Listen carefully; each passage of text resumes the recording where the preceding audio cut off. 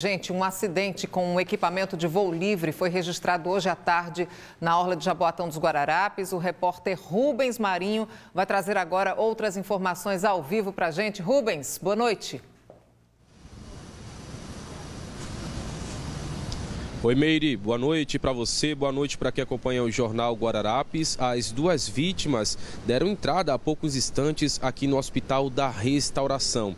Seria uma mulher e um homem que seria aí o instrutor de voo. Segundo informações repassadas pelo SAMU, o casal estava realizando um sobrevoo na orla de Jaboatão dos Guararapes em um equipamento de voo livre, que seria aí um parapente. Depois, eles teriam caído na beira-mar da praia de Piedade. A equipe do SAMU foi acionada ali por volta das 4h35 da tarde. As duas vítimas receberam os primeiros socorros ainda no local e depois foram transferidas aqui para o Hospital da Restauração. Até o momento, nenhum boletim médico foi divulgado e nem a família se pronunciou. Meire.